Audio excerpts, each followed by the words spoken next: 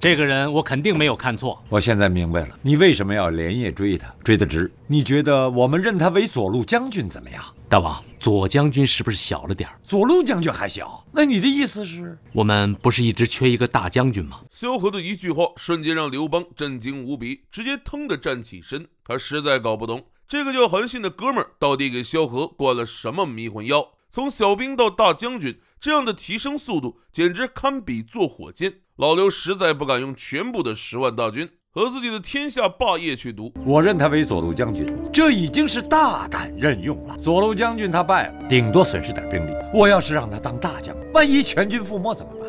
再说这个人，我们终究不太了解，他万一只是有谋无勇呢？他万一是赵括呢？尤其韩信还是从项羽那边跑来的，再加上他的小兵身份，如何能镇住全军将士？刘邦之所以能走到今天，靠的都是沛县老班底樊哙、卢绾那帮老哥们儿。提着脑袋一路打到现在，妥妥的集团创业元老了。他们铁定不甘心被一个小兵骑在脖子上。他们都在惦着大将军这个位置呢。我要认他，这帮人还不跟我反喽？大王，大将军这个位置，你是为了照顾沛县那些老弟兄，还是为了汉家军呢？我觉得他能行，我愿为他担保，我用性命为他担保。大王，我保他一辈子。萧何郑重严肃的态度，终于打动了刘邦。如果在樊哙、卢绾众将和萧何之间二选一，老刘肯定会毫不犹豫地选择后者。这并不是武将不重要，而是因为樊哙等人只能保住刘邦集团的下限，而萧何的存在却能决定他的上限。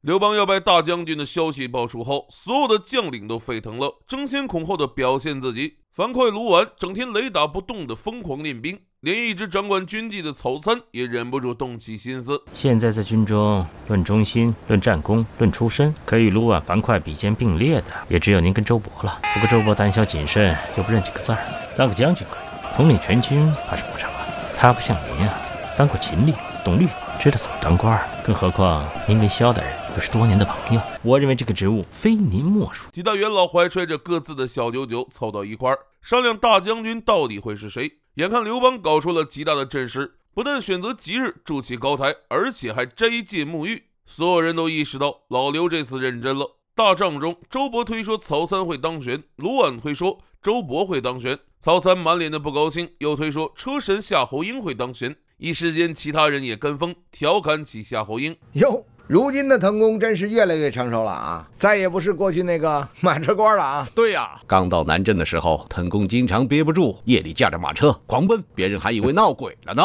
哈哈哈！夏侯婴憋得满脸通红，干脆豁出去了，吹嘘起自己的车技和新牌的超跑座驾，那可是将相才能使用的玩意儿。将相之车才用得着啊。嗯，好兆头，说不定啊，这大将之职就是你的。那我就坐等了。我是大将军，我不是领兵的，我是领将的。察天文，观地史，通晓兵法，多谋善断，言必行，行必果，赏罚分明，令行禁止。你们诸位哪位符合这样的要求啊？韩信在萧何的力保之下，终于成功被拜为大将军。眼看刘邦在大庭广众之下。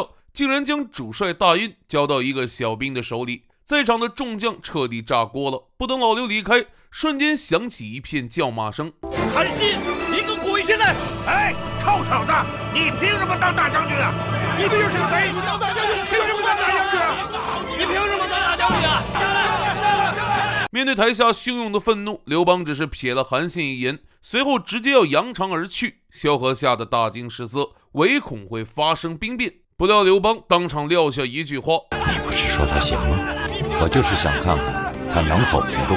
如果连这一关都过不去，那还当个屁的大将军！”韩信呆呆地愣在原地，他并不是被台下的辱骂吓懵了，而是在梦想成真，有些不可思议。万万没想到自己竟然真的一飞冲天，手握三军大权，更没想到刘邦竟如此信任自己。他在心底暗暗发誓，此生永不背叛。可惜韩信完全想错了。老刘不是信任他，而是信任萧何。当韩信手持帅剑缓缓站起的瞬间，一股无形的气势轰然爆发，似乎他天生就该是主帅。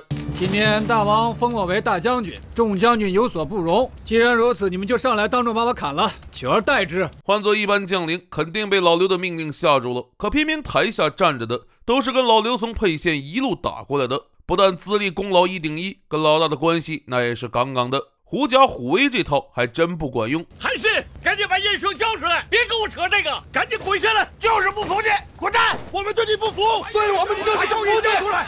我下来，你谁能坐这个位置？谁坐也比你强啊！你觉得你行吗？韩信不慌不忙地开始舌战群将。第一个被点名，正是叫得最欢的卢绾。身为中军护卫，却导致军事逃亡减员足足三分之一，该当何罪？卢绾憋了半天，一句话都说不出来。紧接着，韩信又把矛头对准了先锋大将樊哙。打襄城是你吧？攻打襄城，你孤军突入，久攻不下，最后还是大王亲自杀入敌阵，拿下襄城。我，内你能做大将军吗？最后轮到曹参，毕竟是做过秦朝官吏的人。面对韩信的发问，他竟然扛住了第一回合。给你十万大军，如何调配？各尽其职。怎么个各尽其职啊？十万大军需要多少步兵？多少骑兵？多少自重兵？多少弓弩兵？马夫、伙夫、医师？多少人做前锋？多少人做后备？你算过吗？我当然能算出来。二十万。一百万呢？曹参彻底蒙圈了，他还真没想过这些，干脆把皮球踢还给韩信，询问他要如何调配。韩信直接脱口而出，声称只需要十个听命令的将军就能统帅百万大军。你吹吧你！嗯，我是大将军，我不是领兵的，我是领将的。查天文，观地势，通晓兵法，多谋善断，言必行，行必果，赏罚分明，令行禁止。你们诸位哪位符合这样的要求啊？纵然我们不行，你怎么证明你行？就是就是啊，就是你就行啊！你要能带我们走出南疆，打败项羽，我们就服你。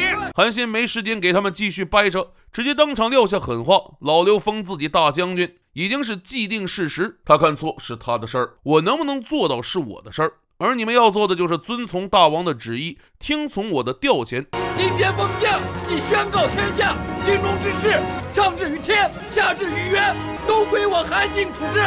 我对大王负责，你们对我负责。我若有失，自然由大王处置。但是处置我之前，我一定要处置不服从我的人，无论他是大王的亲信还是亲属，有他在手，我一定能做到。关注我，下期再见。喜欢的观众记得一键三连，多多转发。